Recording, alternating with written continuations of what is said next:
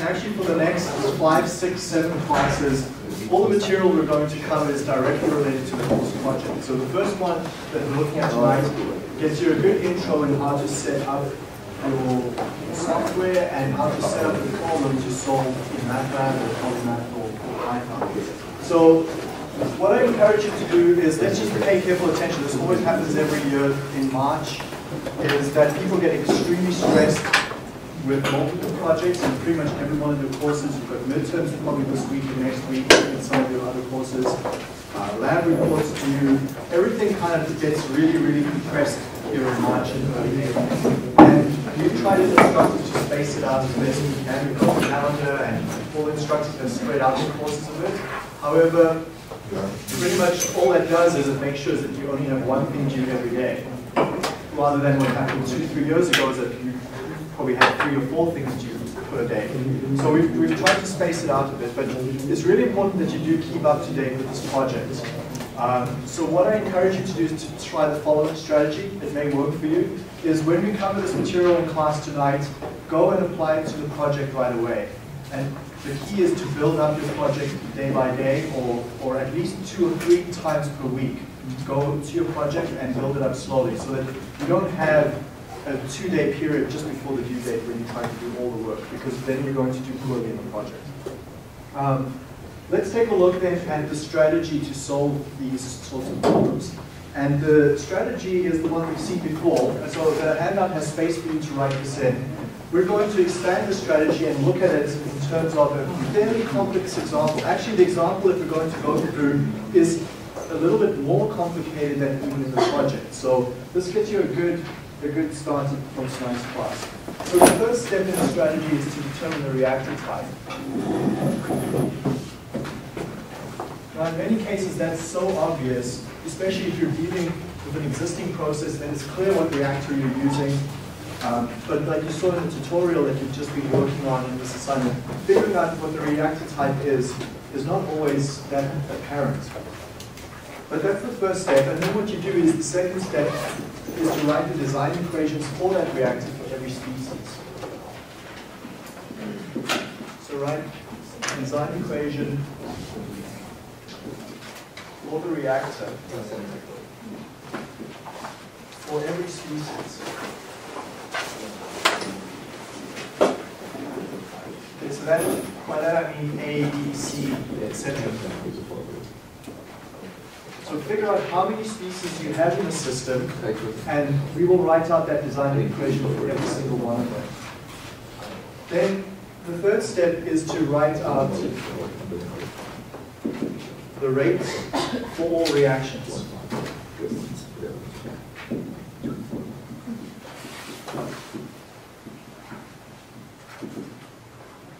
Okay, so step two let's just add this here. Step two will give you n ODEs.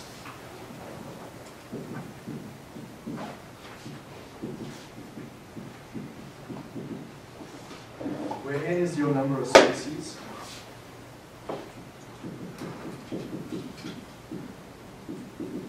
And step three will give you a complex rate expression. Let's take a look at step three then. When I say write up the rates for all reactions, what do we mean by that? Well, let's take a look at this notation I'll introduce here now. Rij is the rate for the ith reaction for the jth species. So Rij is the rate for the ith reaction and for the jth species. Let's just clarify a little bit of terminology here then. The number of reactions we have, so number of reactions, we'll use this notation, uh, we'll label our reactions in fact, one, two, three, for the ith reaction, and I'll consider that we always have Q reactions. So lowercase q reactions. The number of species that we have is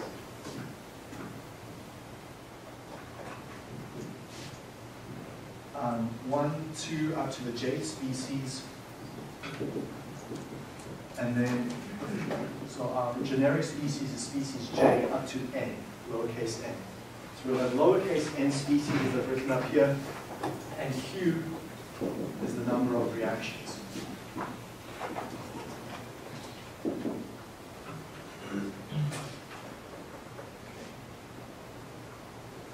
So this is a generic plan, and what the whole of tonight's class is really applying that plan to the example that's on the sheet and then to your project, which would be your next step. So everyone's got this notation down. One, two, three, I, ith reaction up to Q, and then species, we've got one, two, three, up to J species, all the way to then onto the N species. So let me just give you an example of that. Rij, we would write we're used to write Rij then as a function of Ca, Cb, and then I said that my species gets counted as, the counter for the species is j, so i go up to Cj, and then i go all the way up to C lowercase n.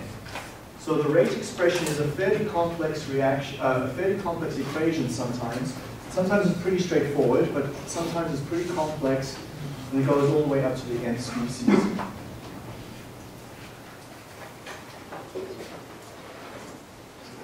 So when I say write out the rates for all reactions, we will have the rate of species A in the first reaction, the rate of species B in the second, in the, in the first reaction, the rate of species C in the first reaction. So you're going to have a fair number of these Rij terms you're going to have q times n rates. Many of them are going to be zero, obviously. If the species doesn't participate in the reaction, it's going to be a zero at that rate. So then what we'll do is we'll write out the net rate. So we'll say R net, uh, so Rj, for the J species, the net rate for the J species is equal to the sum of Rij and we sum those from i equals 1 to q. So let me give you an example of that. So imagine we're dealing with species B. If I wanted the net rate of species B, I go and sum up all the rates for the B species. Uh, sorry, in all the reactions I, the ninth reaction, all the B species rates and then I'll get the net rate of B, and that's what I then substitute into my design equation. So let's be clear on this.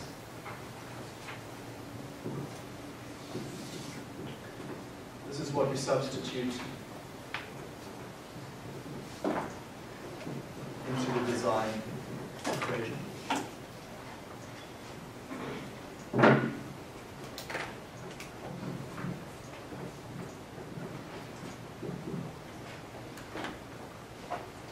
Now, we're used to always just working with rate A, right? So we so commonly see RA, RA, RA. We've never really considered what the rates of the other species are.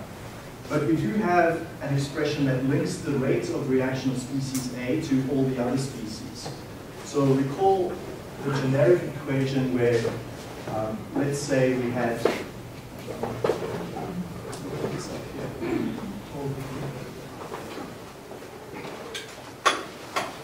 So consider the generic reaction where we had A plus B going to C plus D. This plan that I've just written up on the board here for you requires that you need to know the rates for A, the rates for B, the rates for C and D. Well, you can get those, once we know RA, we can actually get the rates as well. So consider A plus B equals to C plus D. Then we've seen before that RA over A minus A is equal to RB over minus B, which is the rate for reaction C over plus C, which is the rate for species D over plus lowercase d.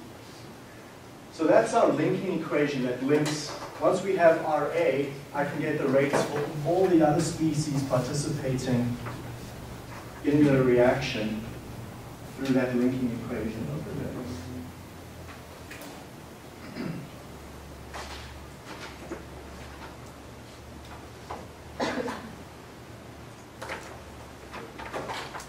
Now, this plan that I've just written up for you, but three-step plan, and then substituting in those net rates over there, is all you need to solve all these reactor design problems. There's only one extra feature that we need to be aware of, and that's for gas phase reactions, is that those concentrations in the rate expression, we need to express those in terms of temperature and pressure and flows instead, as we've seen before. So let's just add an extra smaller substep here. So for gas phase reactions,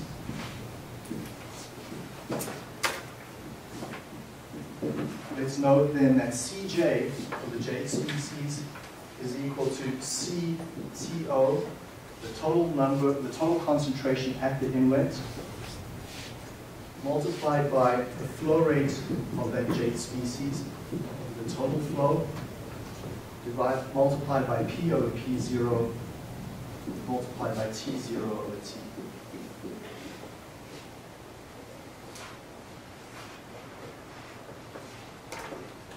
Also for gas phase reactions, we studied the systems when there's pressure drop. So for gas phase reactions, if there's no pressure drop, this is all you use. But if there's pressure drop as well, well sorry, I should say this, this equation applies whether there's pressure drop or not. So if there's no pressure drop, this term P over P naught is 1. If it's isothermal, T0 is the same as T. So those, this equation is the most general equation. Everything else just sometimes simplifies from that. But for gas phase reactions, we also have to take into account the pressure drop, and that adds one extra ODE to the system. So for gas phase reactions, it's a with pressure drop.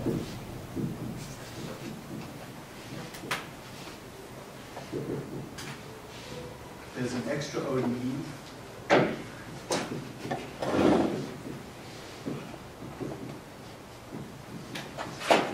And we derived that from the Ergun equation last time, and that's dy by dw is equal to minus alpha over 2y flow total divided by ft0 and then t times t0, t over t0. So there's there's always at least n ODEs, one for every species, but then if there's pressure drop in a packed bed, we have one extra ODE to come with that. So dy by dw is equal to minus alpha over 2y, total flow divided by ft0 multiplied by t over t0. And flow total is equal to the sum of all the individual flows. So Fj. So J is equal to 1 up to N. Okay, so that's the most general plan. And it's, it's valid for any, any, any system. We're going to then spend the rest of tonight's class applying that to this, to this example that you have in front of you. Okay, so I'll just give you a minute to copy down the rest of this strategy that's written up here.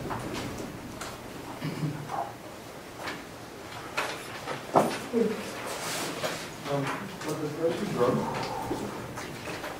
we know the, we know the initial pressure, but we know the final pressure. the non-initial pressure. Okay, so let's take a look at the example. This is a, uh, an example that's not worked out in Fogler. It is an example from Fogler in the exercises, but I thought to pick one that's not worked out so you get to see another example. So here we've got formaldehyde decomposing to formic acid. So formaldehyde in equation 1 over there, let's write that as species A, reacts with half an oxygen, species B, to form formic acid. So species C is my desired product. But A also participates in a second reaction, an undesired reaction. So that second reaction there is methyl formate being formed, that's D. So two moles of A decomposes over to methyl formate, or rearranges itself to methyl formate. So that's a competing reaction which we don't want to occur. The third reaction then, we have our product formic acid. That's our desired species C. Unfortunately, also decomposes over to carbon carbon monoxide and steam. So E plus W over there. That's through the third reaction. And then my final reaction is D plus W. So this undesired methyl formate meets up with the steam molecule and fortuitously creates our desired product again. So even though D is undesired, it can be reformed back into formic acid, our species C. Okay? Plus one mole then of G. So that's the four reactions we've got competing for each other in the packed bed reactor. And we've given there that FA0 and FB0 are fed in their stoichiometric ratio. So one mole of, form, of formaldehyde, and half a, half a mole then of the of, of oxygen. So we're providing a feed in the correct ratio. We've given the flow rates Q naught. We're given that we've got a thousand kilograms of catalyst available to us, W. We don't have to use it all. And then we're given a total molar concentration of one mole per liter. And then the flow rate constant. So I, what I'd like you to do is follow that plan. And I want you to write out the rates for the first reaction. The first, sorry, I should say the rate for the first species, so CA.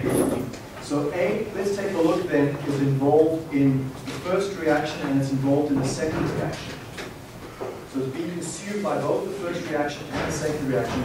Let's take a look then together. Actually, let's do the first one or two together and then I'll let you do species C, which is the desired product on your own.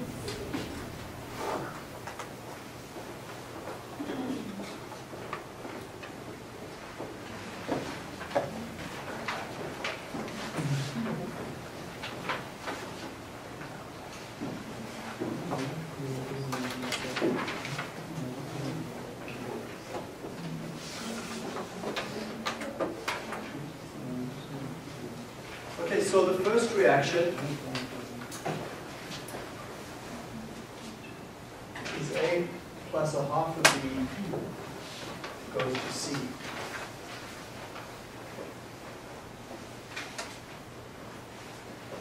This goes to C with K1. So what we can write then is the reaction rates Rij. So this is equation one of uh, reaction one, I should say. So I write the reaction for one for species A. So reaction one for species A. And notice I will use always the positives. So rate of formation of A. One thing that's not written here in the example, but should have been, is that these are elementary reactions. So we could write in the rate of formation of species A is minus K1 CA, CB to the 0.5.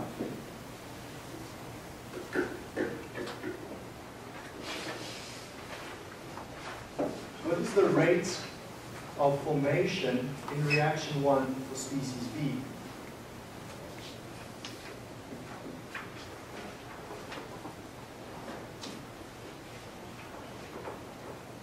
We can then go to that idea where we said RA divided by minus A is equal to RB over minus B. So this would imply that the rating for B is equal to RA times minus B over minus A. So if I sub in B is a half and A is 1, I would get R of B is minus K1 over 2 CA CB to the 0.5. What I would prefer you to do in the software is not write out these equations every time. Simply write out in your software, so R1B is equal to 0.5 R1A. Okay? Let the software do the substitution. Don't, don't try to sub in yourself. Okay, this is the biggest problem we see in reactor design is that people get these huge, huge equation systems. Most of the equations are just duplicates of the other. The problem is if you type that first one wrong and you go and copy and paste, and you don't discover it right away, you're going to have to figure out every place you use that expression and go fix up your mess. This way, I write it once. If I get it wrong, I've got one place to fix it up, and everything else gets propagated out. What's the rate of formation of species C in reaction one? This one's trivial.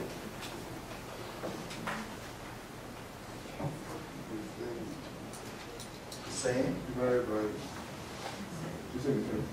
Same. no, it's the, yeah, yeah. So it's equal to minus R1A. Yeah. Right?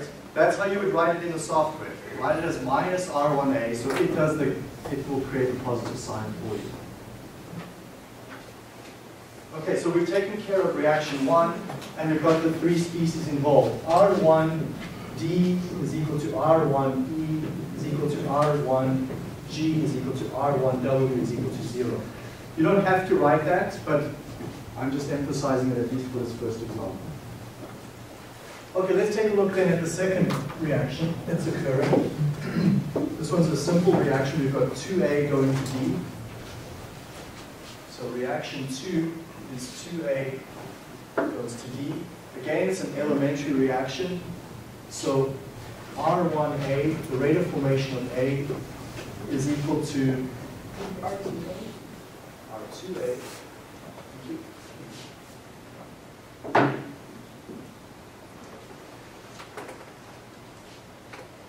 is equal to minus K2 CA squared.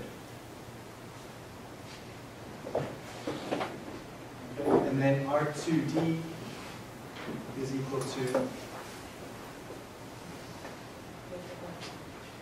Negative R two A? Uh, divided by last week. Ah, negative R two. don't guess, let's not guess. Negative R two So RD over 1 is equal to RA over minus 2. So RD is equal to minus 0.5 RA. Okay. A. R two Ah, please, uh, R2A. Okay, so, so let's, let's not guess. It's tempting. You might think intuitively, I know what's going on here, but it's, sometimes it's, it's better just to work through every single one. Okay, work through reaction 3 by yourselves, reaction 3 and 4.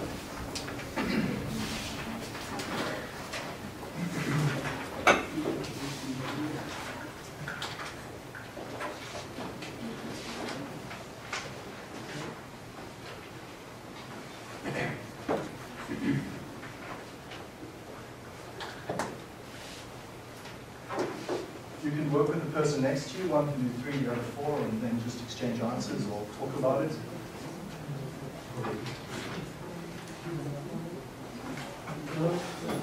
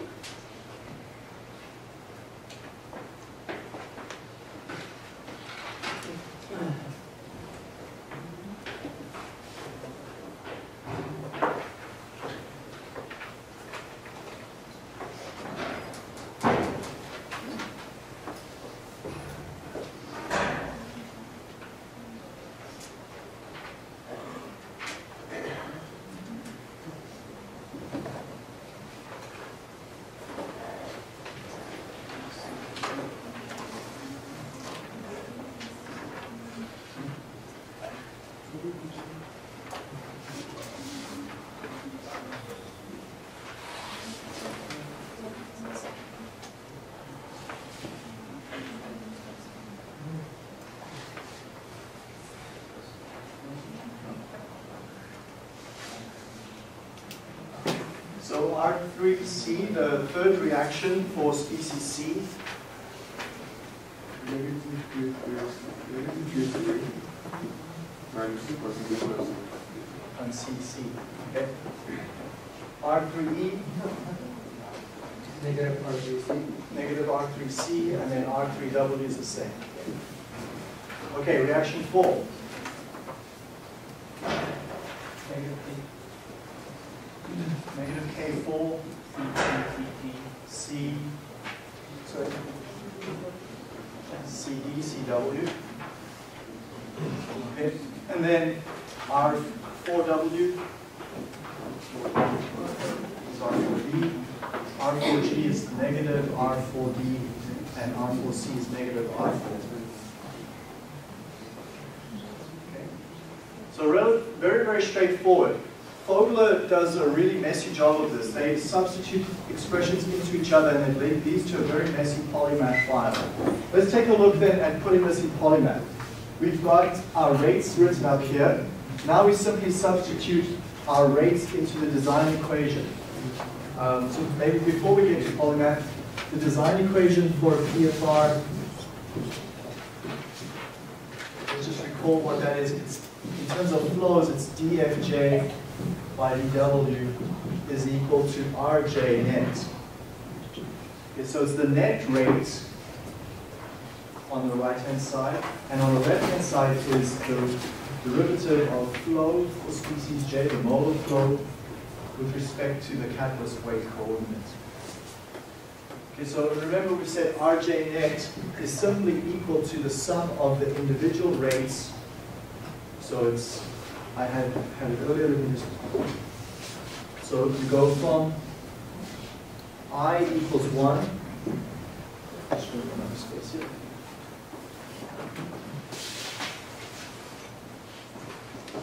So it's the sigma, or the summation then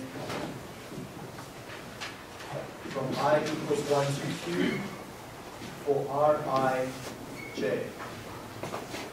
So simply add up your rates for the j species over all q reactions. Okay, so let's take a look at that. In, in polymath, I'm going to write this, write it up in the order that I know all my information. So I, I put in my, my k's, my constants k up here. I put in CT0, FA0, FE0, and FT0 is the total flow, you know, the independent conditions. So we just simply write the expressions as we were given them. Okay, here was that equation then for, for the concentrations. The concentrations, let me just put it back up here again. The concentrations we said Cj is equal to Ct0, the total inlet concentration, multiplied by Fj divided by Ft. And then we had P over P0, and T0 over T. Okay, so P over P0 is Y, the pressure drop ratio. I'll just leave that, I, I've coded it up here for now and I've set it equal to one because I'm considering the case right now where I have no pressure drop. So later on I will go take that equation away. But so for now I'm forcing y equals to one. And I haven't added in the T0 over T because I'm considering an isothermal system right now. So here again, this is what Fogler, unfortunately, they go and substitute these concentrations right into these terms over here. Don't do that. Rather just write your concentrations out here as six, seven separate new equations, and then when you write out your rates later on, it becomes so much easier. You don't have that uh, complicated mess propagating. The only reason actually why Fogler does that is because polymath is restricted to 40 equations, the education version. So they try to minimize the number of equations. I'd rather you do this in MATLAB, and then you don't have that restriction. So my advice to you is if you're still deciding between polymath and MATLAB, go with MATLAB. It really is going to save you a lot of time. Polymath will save you time initially, but MATLAB is going to save you time in the long, in the long run. I'll still post code for both, both options to the website as well. So, okay, so just to continue on there, there's the concentrations defined. I've just written out this equation for J equals 1, 2, 3, 4, up to the final species, W. So it's just written out seven times. The total flow That was the equation I had there earlier where I said ft is the sum of fj with j equals 1 to n. So we've got seven species, f, a, b, c, d, e, w, and g. So I'm just summing those seven flows. There's where I define my rates, R1A, R1B, R1C. So those are these three guys over here. Reaction 2 is defined over here. So minus K2 Ca squared minus R2A divided by 2. Reaction 3, so minus K3 times Cc minus R3C minus R3C. Let's just check the fourth equation. Minus K for CW, CD, CW, and then W is R4D, R, negative R4D, negative R4D. Okay, so you guys confirmed what I had here in format code now as well. So I simply write out those rates for each individual one. So now let's come to my ODEs. DFA by dW is equal to the net rate. Well, the net rate is the sum of the rates for the J species in the ith reaction. So let's go back to my reaction for the J species in the ith reaction. ith reaction here is, let's take reaction 1. A, own, A participates in reaction 1. So if we're calculating DFA by dW, this is the rate of flow change of A with respect to the catalyst weight, we need to take every reaction into account that A participates in. A participates in reaction 1 and reaction 2. It does not participate in reaction 3 and 4. So I don't have an R3A and an R4A, but I do have an R1A and an R2A because A is here in reaction 1 and it's here in reaction 2. Does not appear in reaction 3 and 4. Reaction, let's take a look at the ODE for species B. Which uh, reactions does B participate in? Just, just one, the, uh, the first equation. So I only need an R1B term. And then C is the most complex uh, species in terms of the number of reactions it participates in. So it, it's in the first reaction, the third reaction, and the fourth reaction. So I have an R1C, R3C, and R4C term. So it actually looked like you guys are all looking here like this is so mindless, I'm texting away, this is nothing here to concentrate on. That's fine, it's absolutely right. This looks simple, but if you go look at this example in Fogler, they make it far more complicated than it's needed to be. I'd rather you break it out into these many small equations, and it's actually quite easy to debug and where you go wrong. The D species, species D, only participates in reaction 2. So we have an R2D and an R4D. Okay, and then species D, species E only appears up here, so it's only created, it's not used up.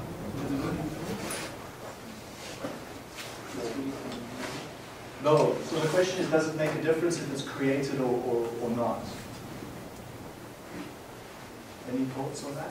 Does it make, make a difference that E is only created and not actually um, not consumed?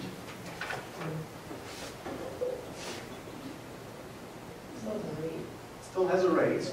And the thing is that R3E, let's go back up to R3E to, to check that if it makes sense. So if it's only being created, R3E must be positive. So if we go up to R3E, it's the negative of R3C so the negative of K3CC, and CC is always a positive, K3 is a positive, so it's only going to get created. So it, it makes intuitive sense as well. Okay. R3W, let's look at species W. It only participates uh, water in the gas phase. Water only participates in the reactions 3 and 4. So we have an R3W and an R4W. And then the final species is G. It's only created again out here. Yeah. So it's only created the same species. Okay, so there's my initial and final conditions. I've used uh, 0 to 500 kilograms of catalyst. Uh, then there was also the next part of the question asked to plot the yields and the selectivities. We don't need that just yet, so I'll comment that out. And then I can go ahead and run. It's, oh, sorry, yeah. Thanks for that. Okay, so we're ready to go. 29 equations, seven ODEs up here, and then when we run that, there's my, my, my curve. So A starts at 10 moles per second at the inlet conditions, and then it improves. So I don't, with 500 kilograms of catalyst, I haven't used up all my A. I start at 10 moles, and leaving at the end of my reaction, I've got about 70 moles, uh, 7 moles per second leaving. The interesting one is species C. Species C gets created over here in the first reaction, and then used up then in, in species, uh, in reaction three, and gets created back actually in equation four. So let's just plot separately that one. We'll take the others off and just look at C on its own. And we can see how it, it gets created and then it's starting to be used up again. If I integrate for slightly longer times, that becomes more apparent. So let's go down here to uh, lengthen that up. And Just finally take a look at species C and D together. So they have uh, these profiles, species C and D both get created and used up again. So D gets created over here in equation two, reaction two, I should say, and then used up again in reaction four. So we, we see those expected shapes over there. So this is how you set up your course project. You should be able to go tonight and actually do it already. This, the course project reactions are simpler than this example. So there's really no, um, no difference. The diff- uh, interesting difference is that course project has multiple, it has heat effects and pressure drops. So we haven't considered that. We we'll add that